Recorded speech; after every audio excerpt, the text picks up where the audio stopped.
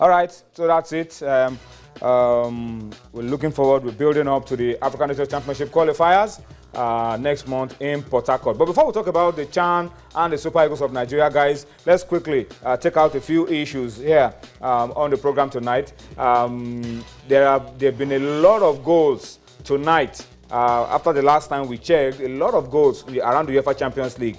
But let's pause a little bit before we update you so that we can have something, a lot to say um, on, on uh, the, the, the program tonight. Let's talk about the girls very quickly, guys. Um, don't worry about what's going on in the UEFA Champions League, guys. Mm -hmm. I, am sure a lot of you guys, Arsenal fans, are praying and hoping that these changes should be positive for your clubs. Well, I don't have much to say to you. I don't have much to say to you. Let's talk about these girls um, convincing win today yeah. over Algeria. Yeah. Uh, since losing to Angola, these girls have picked up mm. and they've won four games in a in row. A row. Mm. Um, and they have finished second in our group behind Angola. And of course, they'll be meeting the winners between um, Gabon. We'll be meeting the third place team, third place team in Group A. And of course, yeah. it will be between Gabon and Mozambique. You are not sure yet. It's at the end sure. of the round of games that you'll be able to know who is finishing third in that group well, so well, that we'll know that's there's who we're playing. There's a, there's a decent chance it's going to be any of those two. It's going to be any of those two. Gabon, Mozambique, it be Gabon, Cameroon. Mozambique. Because the other teams, yeah. the other teams have played. They are the only ones left on four matches, and at the end of that game. Mm there could be a switch, mm -hmm. or Mozambique might just remain on that third spot. Mm. Exactly. So it could be Mozambique, it could be, it could be Gabon. Yeah, it could be Mozambique, okay. it could be Gabon. Okay. But then mm. let, us let, be frank. Um, it, it, was a very good game. Um, Nigeria actually showed uh, um, uh, uh, the stuff that they are made of, and uh, they actually won by a very large um, margin. Uh, playing against the Algerians. 30 points victory over yes. Algeria playing against the Algerians. Uh, of course, the Algerians themselves, um, there's this 79 yeah. to 49. Yeah, but there's actually good victory for the girls. Uh, there's actually one of them. I, I've forgotten her name, Yemancho, who actually got 18 points. But then uh, at some point, they were even leading Nigeria in the second quarter by 18 to 16 points. But then Nigeria, the the Tigress, they actually came up and uh, showed why they are Nigerians and uh, uh, they did well as well. And we hope that uh, they continue to go from strength to strength. Mm. Um, you know, take one game at a time. Uh, we just hope that the next game, uh, basically, we want to qualify for the Olympics. That is very, very important. That is very key. The last time Nigeria um, won the Afro um, Basketball Championship was actually in Nigeria in 2003. Yeah, that was actually in Nigeria, in Lagos. That was where they won. Uh, sorry, in Abuja, that was where they mm. won. So um, for me, uh, I, I, I, just think um, we should just keep supporting them the same way we supported the D Tigers. Keep supporting them, and um, um, hopefully they'll make us proud. Basketball mm. is doing something for us this year that mm. football is that, that, That's good. I mean, that's a good one. Yeah. Um, our boys went there, lost a game. It, it brought some relative to them, mm. and they were able to go all the way, winning the Afro Basketball Championship for the first time. I mean, for the girls it's, it's, Can they do what the guys are doing? I hope win I, this tournament and qualify automatically for the Olympics. I think so. I, think they can. You know, I told you yesterday that the game against Senegal. I mean, you, you just have to um, dove your heart. You just have to respect what these girls have been able. You, you, could say that the guys did it too. They were playing games every day, but yeah, come on, these are ladies, and you know, the, the put in a, a, a very decent um, shift, and only by a small margin were the Angolas able to, to get to, to the top mm. uh, of that group. And, and, you know, like Osmo said, you know, what, what, we really want is a ticket to the Olympics. And, you know, I always like the easy route to things. Go all out, win. You're secured, and and you know that, that's that's all I want. You know, and I, I, now we know that we're finishing second, so we're we're sitting down, our mm. hands are folded, we're, we're monitoring the game. Mozambique and Gabon. We'll see what happens there. But on the strength of how well they have responded to that opening day loss, you would be tempted to think that the girls have it in them to go all the way. I don't pray that Nigeria will be playing classification games. Mm. All I want now, three straight victories, three straight mm. victories. We're champions. Semi-finals, final, final, We're champions, and th that's what I'm hoping for. I, I, I hope they'll get there. I hope they'll win. Mm. All right, let's move away from basketball now very quickly and talk about uh, the uh, Super Eagles. Um, today, Coach Sunday Oliseh um, and the Nigerian Football Federation released uh, the names of players, um, home-based players that have been called to camp uh, for the African Nations Championship. Um, 19 players that were called up uh, and uh, other goalkeepers, other players in the team for the friendlies will be joining.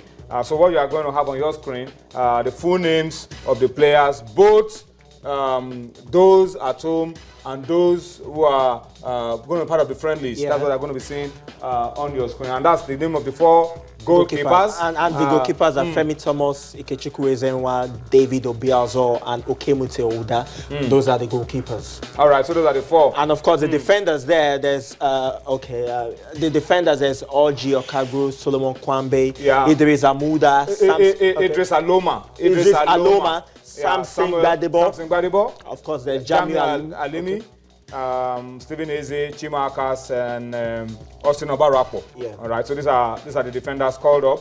Uh, in the midfield, we have uh, Abrazak Aliyu uh, of Enyimba, Ifeanyi Matthew of El Kanemi, Usman Mohammed. Um, is um, called up. Of course, you have uh, Dai of Joe of uh, Sunshine, and uh, you have um, uh, There's Osas Okoro. in the Osas mix Okoro, yeah, in the, in the mix as well. And uh, you have uh, the forwards, Agri, uh, Basi, Ezekiel, Bolam Salami, Godwin Obaje, Tunde Adeniji, uh, Bright, um, Onyedikachi, as you can see right there uh, on, on your screen. So these are the players that have been called up by the coach.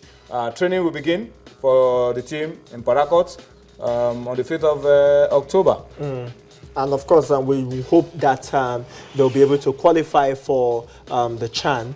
Um, uh, uh, That's the essence of this. that's the essence of this. That's the essence of this. Um, to play, qualify well. Um, I, I feel we should be able to win a match convincingly in Port Harcourt so that um, when we go away, it's going to be um, easy peasy. Just um, try as much as possible to um, uh, just soak in the pressure and, of course, qualify. Um, want to do well in the Chan, win it for the win it. Um, we actually came close in South Africa, but uh, we couldn't. And of course, we were one of the probably the best playing side in that competition. So The best doesn't always win anyway. Exactly. So we will just hope that um, we try as much as possible to um, qualify and um, take one match at a time. I'm, I'm All happy right, for- but the, the, the bigger picture, I mean, is not, not just because of the Chan, but because of our national team. Yes. The way to keep our national team competitive is to give opportunity to those who are playing here. Uh, let them know that they have a stake, that they can play for the national team even while playing uh, for their domestic clubs, and that will make it a lot more competitive. just like we keep on saying that you know you, you, you can't practice in isolation some of these guys as long as you keep inv- inviting foreign-based players some of these guys will not get a look in the size uh, their size in the national team will always be, be reduced somewhat. But if you have competitions like this i hope they qualify. But, I, but i'm happy that they're getting to play. And you know everything now works together for our own good you know. Some somehow if if you didn't have the chan qualifiers will you know this project would probably have ended a long time ago. Now we now see reason to continue this project even when sometime last year the nff showed a little bit of inconsistencies and we paid dearly for it.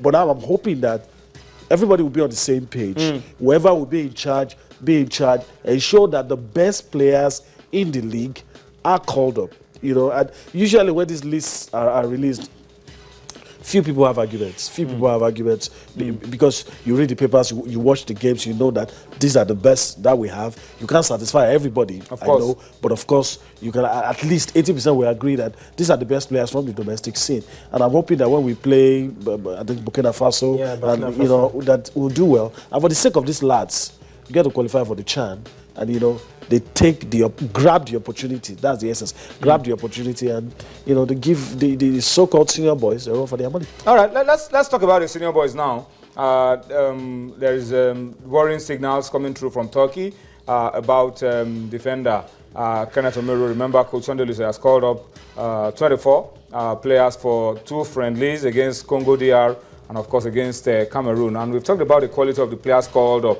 but it looks like there's something for us to worry about. Kenneth Omeruo, um, guys, in the, in the news, uh, look like he picked up an injury. We'll be doing a scan to know what the extent of uh, that injury will be. Uh, that will keep public, could keep him out of um, of the friendly game. An opportunity for Sunday Oliseh and the coaches of the Super Eagles to try someone else Yeah. in case uh, on match day you have a problem with Kenneth, somebody else can fit in Yeah. and, and get the job done for us. But it will be a big miss for us He had- if, we, if, we, if we can't get Kenneth Yeah, for these ones. He had something close to this, you know, when he went to the FIFA Confederations Cup, you know, uh, maybe not the same injury, but but a lengthy absence. Uh, you know, one or two guys had to step up and were playing his Actually, position. the third game, anyway. Uh, you the third game when um, so- the other guy had to come. yeah, I think against Uruguay. Yeah, no, no, uh, against Spain. All right. So to, uh, you know, um, this this also uh, throws up. You, you don't plan for thi- things like this, Hmm. But like coaches will tell you, it's part of the game. Hmm. So you have to be ready. So Somebody else must be able to, to take Somebody, the chance. somebody else must be, and, and if this didn't happen, probably another person would not get a look in. So it's you know sad one for Miro, but it could be a win-win for Nigeria if we manage it well. Other players do step up, and when the Miro comes comes, you know he has to fight to, to you know win back his place. It could be interesting to, to watch how that pans out. All right, so that's the story. Um, I'm, I'm not sure Coach Sunday will call up any other replacement for him. Maybe one of the six home-based players. Of course, one that is the central defender, uh, Austin uh, uh, Obarapo. Now could get a chance uh, to play, which will be good for him and uh, good for uh, the national team as well. If we can throw up a lot of options, uh, if our key players are injured and are out, someone else is ready uh, to seize uh, the chance.